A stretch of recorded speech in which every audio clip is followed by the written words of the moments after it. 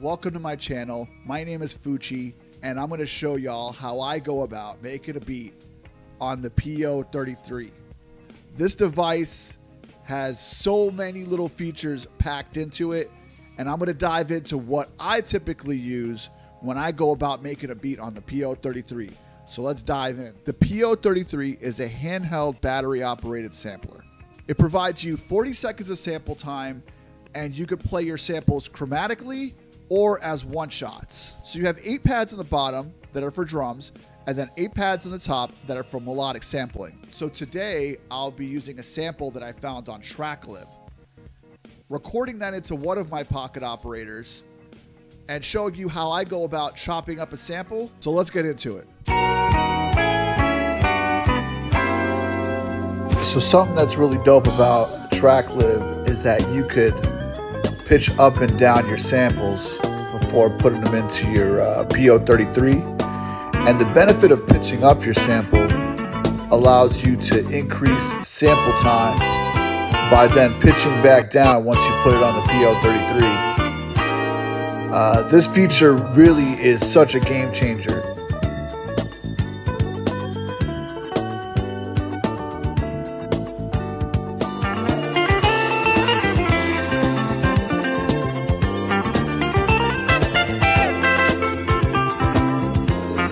Right, so I got two loops that I really like on here. I'm going to go ahead and just go about chopping these up into 16ths, right?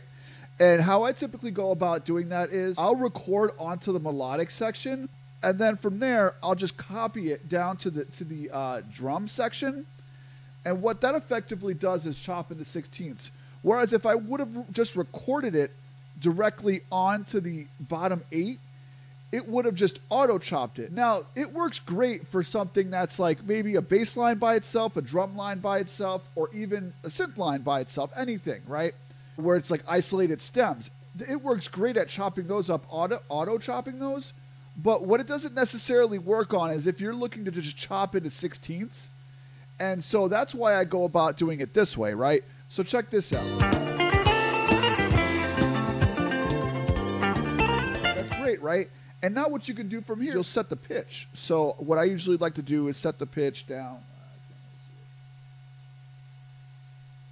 So what I like to do is just pitch it down until I like the way it sounds, right? So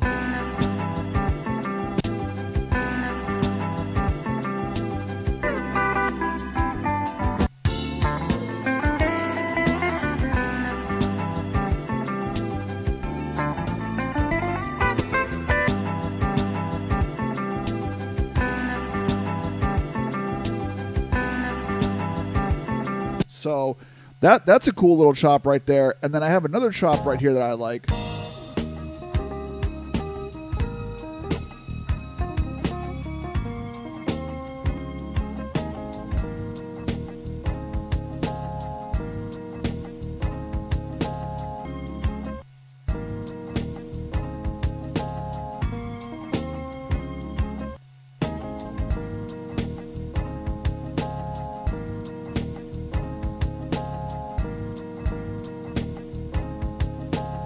Dope right there. I like the way that sounds. All right, yeah, so I'm going to go ahead and just use that right there. Um, I got a couple of little loops I'm, I'm liking. I like the way this pitch sounds. Generally, from here, I'll, I'll apply the filter, which I, I which the filter on these on these POs are pretty good. I like the way they sound. So let me go ahead and filter. So you'll see there, it says FLT. That means it's a filter, right? So.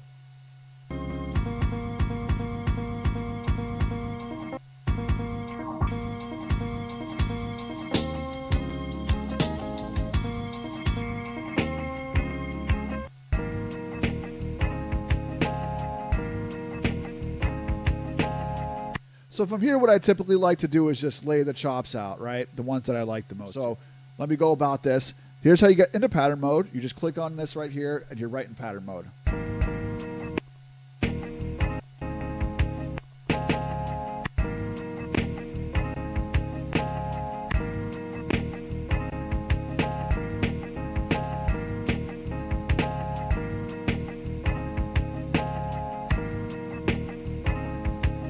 What I did there, right? I was able to easily find the BPM just by having the chops laid out. So on the PO on the right, I have all of my drum patterns on here, and then my PO on the left has all of my samples, right?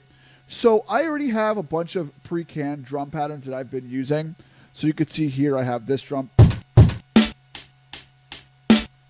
another drum loop right here, another drum loop.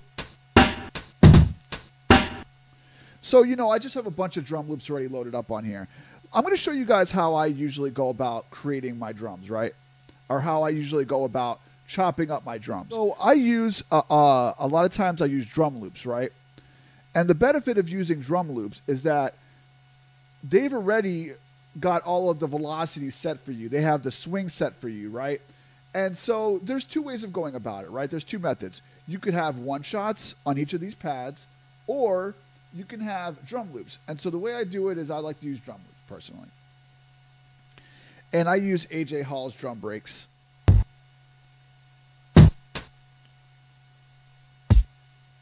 So you'll see here, I'm going through all the different drums.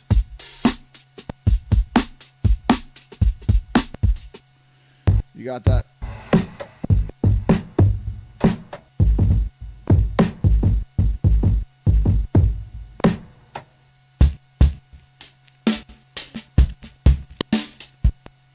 See there? So these are all just like the different drum sounds I got.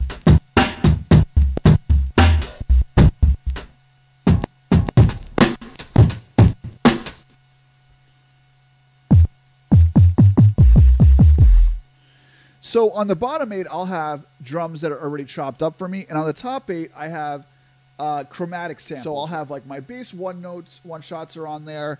Uh, I have as well as um, uh, little vocal chops or something like that. So let me show you guys what I do up here. So some cool sound effects, some vocals, right? You hear that? And then a bass.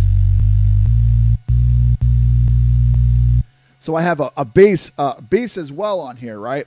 So the top eight that's kind of how I have it organized, right? I have the top eight are chromatic samples, one shots, and then I have the bottom eight for chopped up drum loops. So, all right, let me show you guys how I go about creating uh, a pattern, a drum pattern. So I'll select my pattern.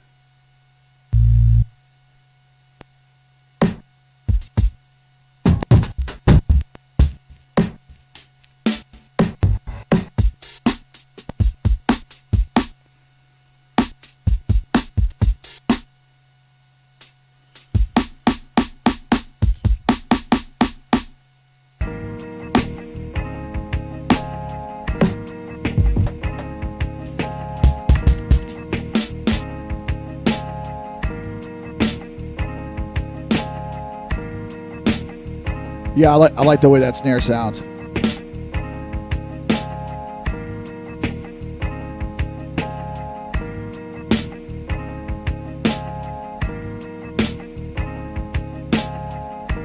All right, now I got to find a kick.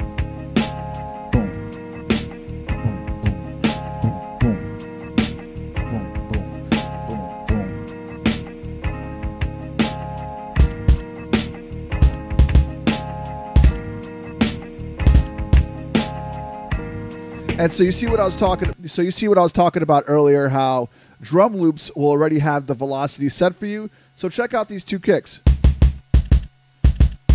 They're two different sounds, right? Like one's a little bit more of a muted kick, and the other one's more of like a open kick. So you see, more of a muted. That's an like more of an open kick, right? So check this out. So so it adds a little bit of bounce. Watch this. I'll add a kick right there, and then the open kick there. So right? You get that? And now let me play them both back to back. Check this out.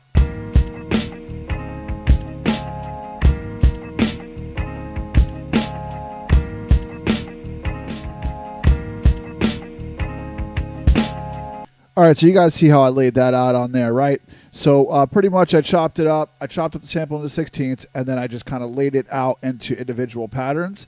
And from there, I'll be uh, uh, sequencing out each individual pattern. So it makes pretty much a verse, chorus, verse, chorus structure Let me show you guys how I do it. So I'm going to do uh, 16 bars for the verse and 8 for the chorus. So check this out. So 1, 1, 2, 3, 1, 1, 2, 3, one, one, two, three, one, one, two, three, and that's 16, right? And then from there, I want to add eight bars for the chorus. So it's going to be one, one, two, three, one, one, two, three. There you go.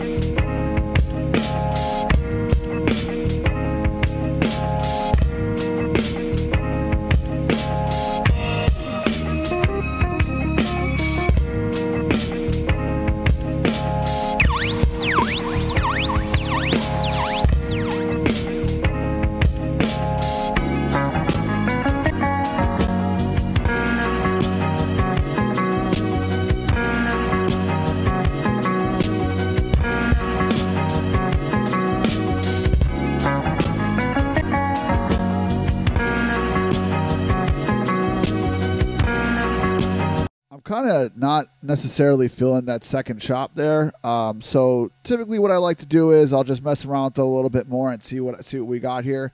Uh, but I like the way this one loop sounds. This loop right here. Now let's hear what it sounds like with the drums.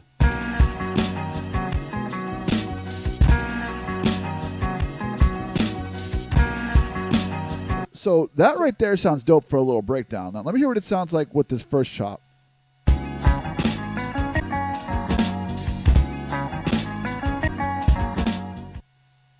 don't I don't know. I, I don't necessarily like it. I, I think it's okay, right? So that um, that idea I might nix out, right? That's this is this is the process of beat making, right? We take out, we add in, and this is just how I go about it typically, right? You guys will catch me on my on my Twitch lives or soon YouTube lives, and you'll see how I usually do that. Like I'll, I'll, find something, like it at first, and then later on I might delete it later. So uh, let me go ahead and and and re-loop all this out and get it into song mode.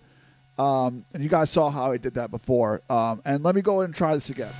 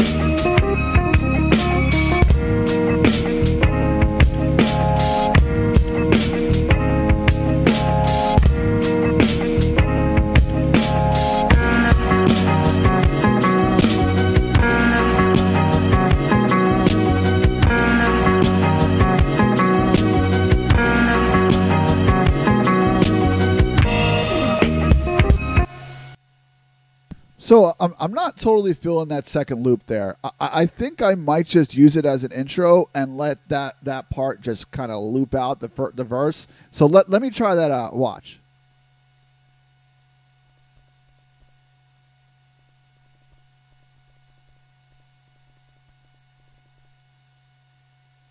All right, so that's going to effectively be the intro.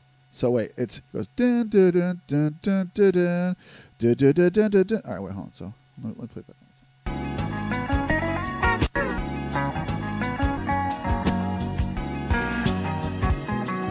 All right, let me, let me let me do it one more time. So check this out. That's going to be the intro.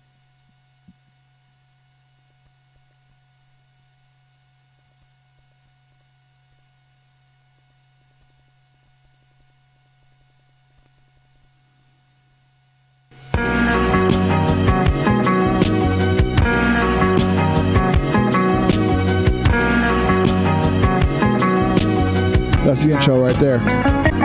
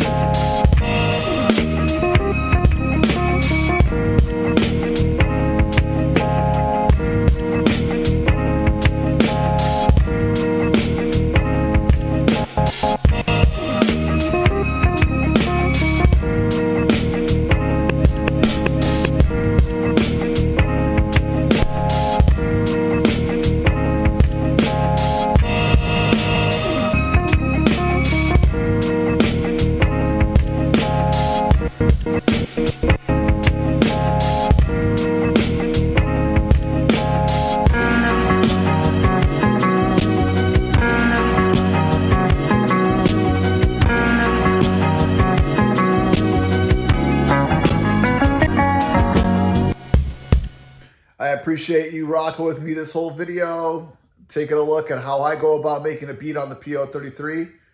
I'll be making more of these videos in the future, so please like and subscribe. I'll be going, uh, I'll be making a video with the 2500, the MPC 2500, my Ensoniq EPS back there, my 202, 404, and my PO32. Oh, forgot about the Polyend tracker. So yeah, I'll be definitely making more videos in the future with these guys. So please subscribe. Peace.